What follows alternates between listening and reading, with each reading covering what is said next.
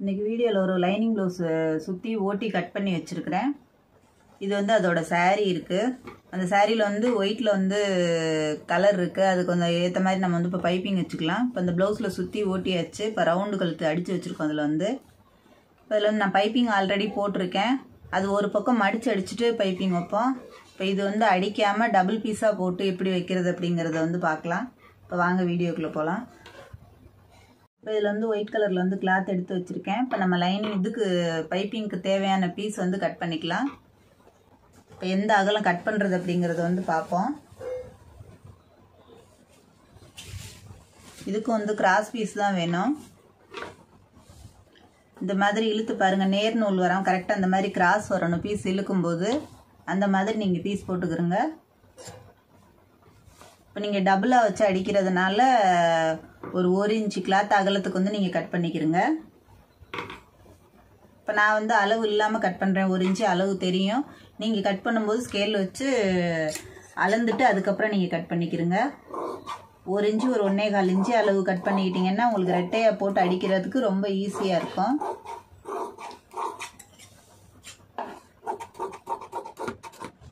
இப்போ இந்த அகலத்துக்கு வந்து நீங்கள் பீஸ் எல்லா பீஸும் கட் பண்ணி எடுத்துக்கிறங்க கழுத்துக்கு. இப்போ நம்ம ரெட்டையை அந்த அளவுக்கு வந்து வச்சு அடிச்சுட்டு அதுக்கப்புறம் திருப்பி விடும்போது உங்களுக்கு பீஸ் கரெக்டாக வரும். பைப்பிங் நம்ம எந்த அளவுக்கு வேணுமோ அந்த அளவுக்கு வந்து உள்ளார தள்ளிட்டு இதை வந்து இதில் வந்து அடிச்சுக்கலாம். இப்போ இதே மாதிரி நமக்கு தேவையான பீஸ் எல்லாம் கட் பண்ணிக்குவோம். கிளாத் நிறைய பெரிய கிளாத்தாக இருந்ததுன்னா உங்களுக்கு அகலம் க லென்த் வந்து கம்மியாக வரும் வெட்டும்போது.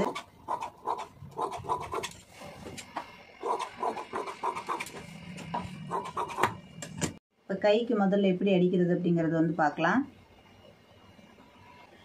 இந்த மாதிரி கட் பண்ணியிருக்க பீஸை ரெண்டாக மடிச்சுக்கிறோங்க இது வந்து டக்குன்னு உங்களுக்கு வேலை முடிஞ்சிடும் ஒரே மாதிரி வச்சுக்கிறோங்க பீஸை வந்து. ஏத்தறக்கம் இல்லாமல் ஸ்டார்டிங்லேருந்து வச்சுருங்க. அதை வந்து ஒரு கால் இன்ச்சு தையலுக்கு நீங்கள் எந்த அளவுக்கு இறக்கம் சேர்த்து கட் பண்ணியிருக்கீங்கன்னு பார்த்துக்கிறங்க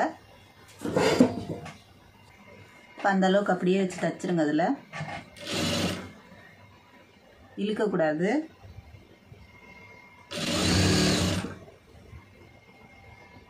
இழுத்து தைச்சிங்கன்னா சுருக்கம் வந்துடும்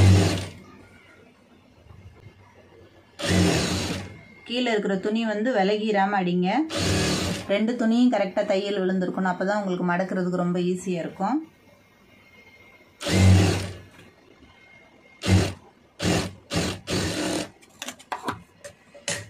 இப்போ இது நம்ம உள்ளே ஒரு அடி அடிச்சிட்டோம். அது அப்படியே கரெக்டாக நெகத்தில் லைட்டாக அப்படியே நீவி விட்ருங்க உள்ளே தேய்ச்சிட்டு அதுக்கப்புறம் நீங்கள் அப்படியே ஒரு மடக்கு மடக்கிடுங்க இதுக்குள்ளே வந்து. உங்களுக்கு எந்த அளவுக்கு தேவை பைப்பிங் வந்து அந்த அளவுக்கு வந்து உருட்டி அடிச்சிருங்க. கரெக்டாக அந்த கேப்பில் வந்து தையல் விழுகணும். இந்த கேப்பில் வந்து அந்த மாதிரி கரெக்டாக போட்டுருங்க. உள்ள அளவு இந்த துணியை வந்து இந்த பக்கமாக மடக்கிக்கிறங்க உங்களுக்கு ரொம்ப பெருசாக இருக்குது அப்படின்னு சொன்னால் நீங்கள் தாராளமாக கொஞ்சம் கட் பண்ணிக்கலாம். இப்போ பைப்பிங் வந்து நீங்கள் கட் பண்ணிட்டீங்கன்னா ரொம்ப சின்னதாக வரும். அதுக்கு தகுந்த மாதிரி நீங்கள் கட் பண்ணிக்கிறங்க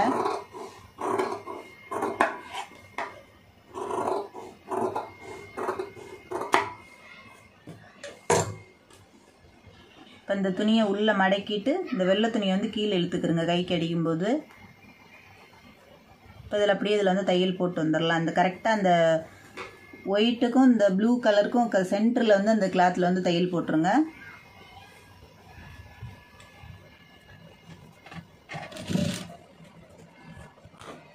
கரெக்டாக இழுக்காமல் அடிச்சுக்கிட்டு வாங்க. உருட்டினது அப்படியே. அப்போ பைப்பிங் அழகாக வரும் பார்க்குறதுக்கு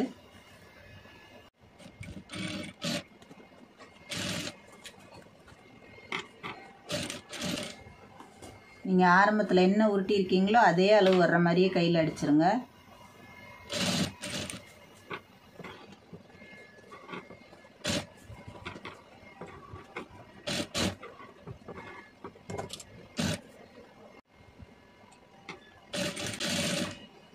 தையல் கொஞ்சம் ப்ளூ கலரில் வந்தால் கூட பரவாயில்ல. நம்ம வெள்ளையில் கரெக்டாக விழுந்துடாமல் தையல் ஓட்டிடுங்க கீழே வந்து நம்ம வேணால் தையல் வேணால் ஒன்று போட்டுக்கலாம். துணி கொஞ்சம் பெருசாக இருந்ததுன்னு சொன்னால்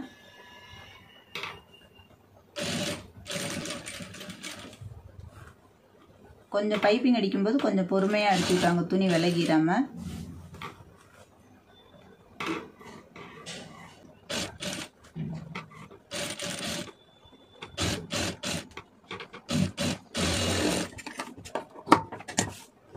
உங்களுக்கு எவ்வளோ அழகாக வந்திருக்கு அப்படிங்கிறது தெரியும். நம்ம இந்த ரெண்டு கிளாத்தாக போடுறது ஒரே வேலையில் முடிஞ்சிடும் அந்த பைப்பிங் வந்து இந்த மாதிரி அடிச்சிங்கன்னா. இப்போ உங்களுக்கு பெருசாக இருந்ததுன்னு சொன்னால் நீங்கள் அதுக்கு உள்ளே வந்து மடக்கி ஒரு தையல் போட்டுக்கலாம். இல்லை போதும் அப்படின்னா நீங்கள் அதை அப்படியே விட்டுறலாம். வெளியில் தள்ளலை அப்படின்னு சொன்னால் இப்போ அதே மாதிரி நம்ம கழுத்துக்கும் அதே மாதிரி அடிச்சிடலாம். ரெண்டு கிளாத்தாக போட்டு. இப்போ இன்னொரு கை இதே மாதிரி ரெடி பண்ணிவிட்டு நம்ம இப்போ கழுத்து பீஸும் இதே மாதிரி அடிச்சிடலாம். ஃபஸ்ட்டு வந்து நான் சிங்கிள் பீஸ் வச்சு ஒரு பக்கம் அடிச்சுட்டு பைப்பிங் போட்டிருப்பேன். இது வந்து ரெண்டு பீஸாக ஜாயின் பண்ணிவிட்டு அதுக்கப்புறம் போட்டிங்கன்னா ஒரே மடக்கில் வேலை முடிஞ்சிடும் இந்த மாதிரியும் பைப்பிங் வைக்கலாம். பைப்பிங் வச்சு இந்த பக்கம் இதுவும் நல்லா ஃபினிஷிங் நீட்டாக வரும். நீங்கள் தையல் மாத்திரம் பார்த்துக்கிறங்க போடும்போது கரெக்டாக அந்த கேப்பில் போடணும். தையல் வந்து வெளியில் வரக்கூடாது. இந்த ஒயிட்டுக்கும் இந்த ப்ளூவுக்கும் ஊட வந்து கரெக்டாக போட்டிங்கன்னா ஃபினிஷிங் சூப்பராக வரும். இந்த உருட்டுனது வந்து அழகாக உங்களுக்கு வந்து உருட்டி கொடுக்கும். அதை பார்த்து போடுங்க. இப்போ கழுத்து எப்படி அடிக்கிறது அப்படிங்கிறது வந்து பார்ப்போம். இருந்தது. அடிக்கிறது கஷ்டமாக இருந்துச்சுன்னா தனித்தனியாக ஜாயின் பண்ணிடுங்க ஃப்ரண்ட்டு தனியாக பேக் தனியாக ஜாயின் பண்ணிவிட்டு அதுக்கப்புறம் நீங்கள் சோல்டர் வந்து ஜாயின் பண்ணிக்கலாம். தனித்தனியாக பைப்பிங் அடிச்சுட்டு இது ரொம்ப ஈஸியாக இருக்கும். இந்த மாதிரி அடிச்சிங்கன்னா இப்போ நான் உங்களுக்கு தனித்தனியாக அடிச்சுட்டு சோல்டர் ஜாயின் பண்ணி காமிக்கிறேன். இல்லைன்னா வெளிப்பக்கம் வர்ற பக்கம் மாத்திரம் சோல்டர் ஜாயின் பண்ணிட்டு அடிச்சிங்கன்னா ஃபினிஷிங் நல்லாயிருக்கும் சோல்டருக்குள்ள வந்து பிசுறு வந்து உள்ளே போயிடும் பைப்பிங் அடிக்கும்போது. ஒரு பக்கம் கூட அதை ஜாயின் பண்ணிக்கிறங்க அதை பண்ணிவிட்டு அதுக்கப்புறம் அது பண்ணுங்கள் இப்போ நான் ரவுண்டு கழுத்து எடுத்து வச்சுருக்கேன். இப்போ நான் ஒன் சைடு தான் வந்து வெளிப்பக்கம் மாத்திரம் தான் பைப்பிங் வைக்க போகிறேன் அதை மாத்திரம் நம்ம ஷோல்டர் வந்து ஜாயின் பண்ணிக்கலாம். ஜாயின் பண்ணிவிட்டு அடிச்சிருவோம்.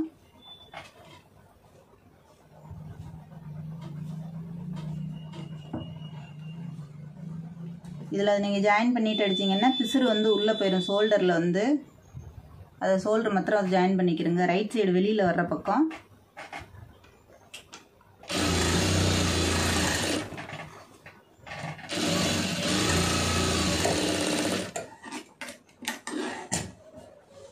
இப்போ இது இந்த பக்கத்தில் வந்து அதே மாதிரி பீஸ் அடிச்சுட்டு வந்துடலாம் ரெண்டு கிளாத்தாக இப்போ இது வந்து நான் சிங்கிள் பீஸே போட்டுறேன். இது வந்து பெரிய பீஸ் அதனால் ஜாயிண்ட் தேவையில்லை. லென்த்து இதுவே கரெக்டாக வரும். இப்போ இந்த பீஸ் அதே மாதிரி ரெண்டாக மடிச்சுக்கிறோங்க ஏத்தனக்கு இல்லாமல் கட் பண்ணிவிட்டு நீங்கள் எந்த அளவுக்கு தையலுக்கு வெட்டி இருக்கிறீங்க கழுத்து அகலங்கிறத வச்சு அதை அப்படியே கரெக்டாக அதிலே அடிச்சுட்டு வந்துடுங்க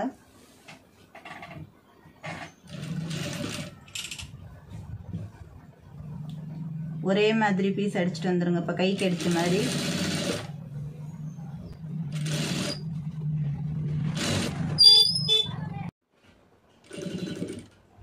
ரவுண்டு அடிக்கும்போது சுருக்கம் இல்லாமல் அடிங்க.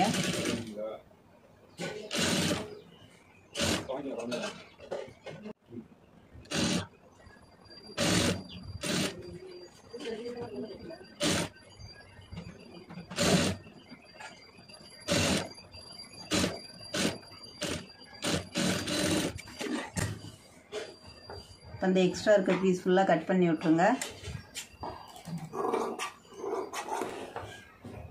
அங்கே இங்கே கரெக்டாக ஒரு நாச்சு போட்டுக்கிறோங்க எல்லாத்துலேயும்.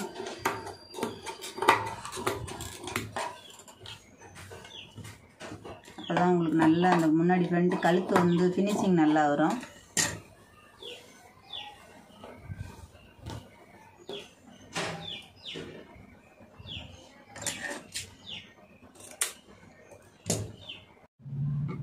இப்போ இந்த பீஸ் வந்து உள்ளே வரணும். இந்த பெரிய பீஸ் வந்து அதை வந்து கரெக்டாக உள்ளே மடக்கிட்டு அதுக்கப்புறம் இந்த மாதிரி உள்ளே இந்த பீஸை மடக்கிட்டு மேல் பீஸை வந்து உள் பக்கமாக மடக்குங்க. அப்போ வந்து பைப்பிங் வந்து உங்களுக்கு எந்த அளவுக்கு தேவையோ அந்த அளவுக்கு வரும். இப்போ நம்ம அதே மாதிரி ஃபுல்லாக அடிச்சுட்டு வந்துடலாம்.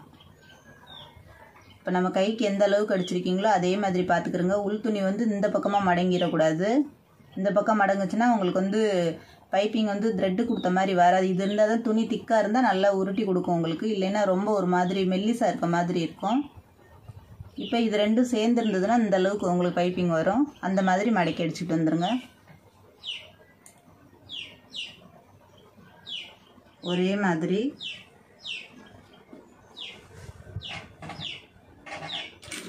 நான் கையில் எப்படி சொன்னனோ அதே மாதிரி இந்த கேப்பில் தான் தையல் போடணும். அந்த வெள்ளையில் விழுகாமல் அது கரெக்டாக அந்த ப்ளூலே போட்டுக்கிட்டு வந்துடுங்க நம்ம கழுத்து பீஸ் அடிக்கிற மாதிரி தான் அடிக்கணும். சுத்தமாக இழுக்கக்கூடாது பீஸை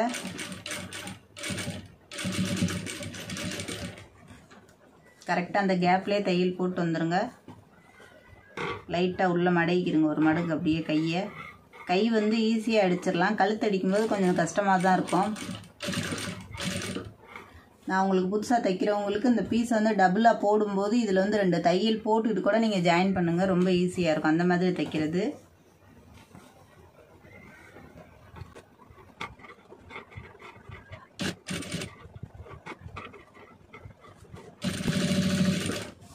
கரெக்டாக ஒரே மாதிரி உருட்டிட்டு வந்துருங்க. அதை வந்து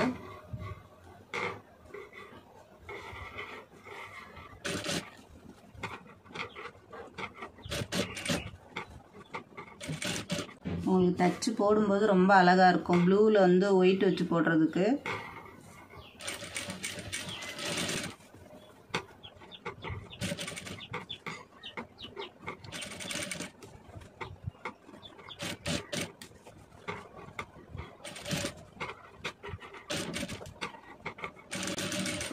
நீங்கள் இந்த ரவுண்டு மாத்திரம் கரெக்டாக கட் பண்ணிக்கிறங்க உள்ளே திரும்ப அது இல்லைன்னா.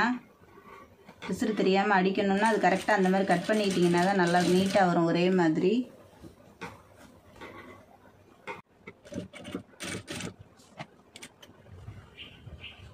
கொஞ்சம் விலகுற மாதிரி இருந்ததுன்னா நீங்கள் கரெக்டாக அந்த ஊசி அந்த இடத்துல இறக்கிக்கிறங்க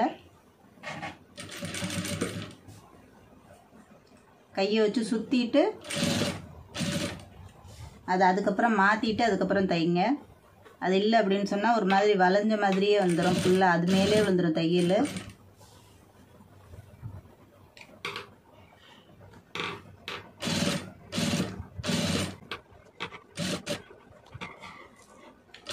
இந்த ஷோல்டர் ஜாயின் பண்ணியிருக்க இடத்துல மாத்திரம் கொஞ்சம் மொத்தமாக இருக்க மாதிரி இருக்கும். அந்த இடத்துல மாத்திரம் கொஞ்சம் நல்லா உருட்டிக்கிருங்க கையை வச்சு. அந்த இடத்துல உருட்டிட்டு அடிச்சிங்கன்னா கரெக்டாக ஒரே மாதிரி ஈவனாக வந்துடும்